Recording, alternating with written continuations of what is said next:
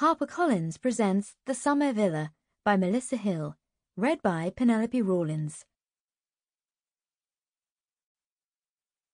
Prologue It was just a little white lie, a way to kickstart her freedom, and Kim Weston was now officially a runaway. She couldn't help but laugh at the idea as she stared out the window of the aeroplane into the abyss around her. Thirty years old, an adult, and here she was, running away from home.